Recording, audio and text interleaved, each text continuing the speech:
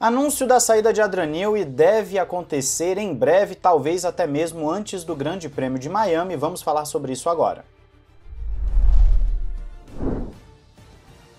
Olá, amigo do Ressaca Fórmula 1, seja bem-vindo a mais um vídeo. Eu sou Matheus Pucci, é terça-feira, dia de Champions League, inclusive, mas não é isso que importa aqui no vídeo. Vamos falar sobre Newey, isso porque toda hora está saindo uma novidade. Fizemos vários vídeos recentemente sobre o caso Newey e sendo mais direto ao assunto, o que acontece? Está saindo em vários portais, parece que isso começou lá no F1 Insider, eu não tenho certeza, porque toda hora eles falam assim, a ah, fontes fontes lá de dentro, fontes não sei o que, mas ninguém cita exatamente quem, né?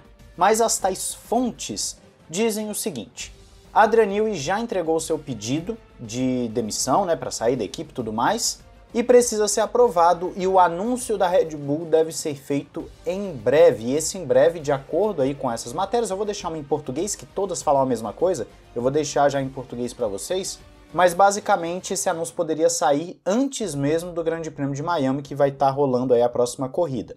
Se isso acontecer, nós já sabemos que o Newey tem algo engatilhado, porque se ele fosse simplesmente aposentar, ele esperaria o contrato dele acabar ano que vem e pronto, aposenta. Um ano a mais não faria grande diferença, ele não ia ter essa pressa toda para sair da equipe. Por outro lado, também já podemos concluir que existe sim um problema dentro da Red Bull e aí entra a segunda parte que é muito importante desse vídeo, em que nós vamos falar justamente o que está sendo pontuado por essas matérias como sendo os problemas e também por que, que o Adranil estaria mais inclinado para a Ferrari. A gente vai passar aqui pelas opções dele. Então, falando sobre o problema que está fazendo ele sair. Primeiro, a relação dele com o Christian Horner desgastou bastante. Muito porque o Christian Horner tem tentado diminuir a importância do Newey na equipe, e isso vem de entrevistas já há alguns meses, em que o Horner fala que a equipe sobrevive sem o Newey, que os outros é que têm uma participação maior, etc. E também por conta da acusação que teve do Horner ali, da, da funcionária, e que ainda não acabou, talvez você não esteja vendo tanta notícia, mas voltaram as investigações, ainda vai ter um segundo round disso tudo. E aí ele teria ficado, olha, eu não quero ficar no meio desse furacão, eu quero um ambiente mais tranquilo, assim como Verstappen fala, e vai querer sair e buscar um novo desafio. A esposa de Newey já até tweetou contra algumas falas do Christian Horner, isso mais ali pro início do ano. Então você vê que já tem alguma coisa rolando há algum tempo. Não é do nada. Nada acontece simplesmente do nada. O Newey não simplesmente acordou e falou: vou dar a louca e sair da Red Bull, forçar minha saída e tal. Não existe um motivo, existe uma construção disso tudo. E aí o Newey tem algumas opções. Essas opções são Mercedes, Aston Martin, McLaren, Ferrari. E aí o que, que acontece? Aparentemente, Newey não tem uma opinião positiva sobre o Toto Wolff. Então uma ida para a Mercedes não seria tão viável assim para ele, até porque também de acordo com a matéria, ele acha que a Mercedes talvez leve muito mais tempo do que o que ele está disposto a investir na Fórmula 1 para voltar ao topo. Então ele não tem mais 19 anos como ele tem aí de Red Bull para poder fazer um super carro para Mercedes.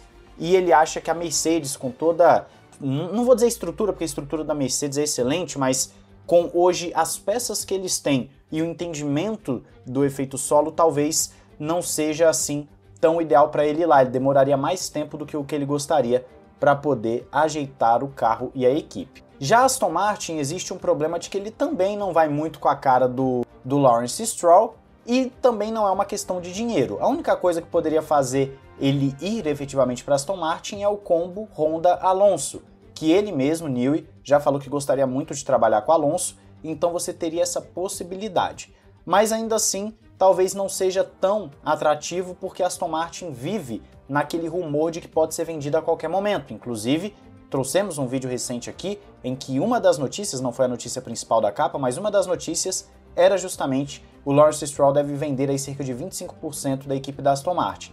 Então o Newey não teria estabilidade, ele teria essa preocupação com a estabilidade do trabalho dele. Já a McLaren não representaria um novo desafio para ele, porque ele já trabalhou na McLaren entre 97 a 2005, inclusive ganhando o título, e ele se dá muito bem com o Zac Brown, mas ele não teria interesse em voltar para uma equipe que ele já participou, então a McLaren também seria quase uma carta fora do baralho. Aí sobra quem? A Ferrari. Que é o que temos falado há muito tempo, desde que iniciaram esses rumores. A Ferrari é a principal equipe, os especialistas aí que falam, que comentam os rumores também citam isso. Todos os rumores apontam para a Ferrari e seria o combo New e Hamilton para estar tá trabalhando, e claro, a Ferrari é a maior marca, querendo ou não, gostando ou não, você torcendo ou não para a Ferrari, ela é a maior marca, você também tem que pesar isso na balança. Então a Ferrari é que está numa posição melhor. É a que tem o combo mais atrativo para o Adrian Newey, porque vai ter dinheiro, vai ter a estrutura, vai ter o nome da marca, né, o peso da marca, vai ter o Hamilton. Você tem tudo ali para fazer a Ferrari voltar a vencer e a gestão do Frederico Vasseur até o momento tem sido muito positiva, você vê que tem dado resultados. Então o que nos resta é o que? Esperar o tal anúncio. Não sabemos se realmente vai acontecer antes de Miami. Alguns estão até dizendo que hoje ainda, 30 de abril, deve acontecer esse anúncio. Se sair, obviamente eu trago no vídeo de mais tarde, já que na Europa esses anúncios tendem a sair até no máximo o equivalente a 4 horas da tarde aqui. Né? Então, até o horário do vídeo que nós vamos fazer, vamos postar lá para umas 6, 7 horas, né? Sai naquele esquema ali, 6, 7 horas da noite mais ou menos. Já deve ter o anúncio caso for feito hoje. Se não sair hoje, vamos ver se realmente vai acontecer até o Grande Prêmio de Miami. Por isso, eu peço a você que trate como um rumor, assim como falo para todas as outras notícias, para essas mesmo do Adrian Newey, tudo é um rumor até que seja confirmado até que o Newey fale, olha, realmente eu pedi para sair e tudo mais, então a gente vai tratando como um rumor. Eu quero saber a sua opinião sobre tudo isso, todo esse assunto aí nos comentários. Eu quero que você fale o seguinte: você acha que a Red Bull realmente não precisa mais do Newey? A equipe liderada pelo Pierre Wacher vai manter a Red Bull no topo? Você tem já o necessário para se manter no topo sem o Newey? Segundo ponto, qual seria a melhor escolha para o Newey em si? Você acha que a Ferrari ou outra equipe? Fala aí. E terceiro ponto, uma pergunta que eu vi aqui nas redes sociais, nem foi feita aqui para o canal nem nada, mas eu vi o pessoal perguntando: a Red Bull está implodindo mesmo? Porque a saída do Newey pode acarretar numa possível saída do Verstappen. Então, o que está acontecendo?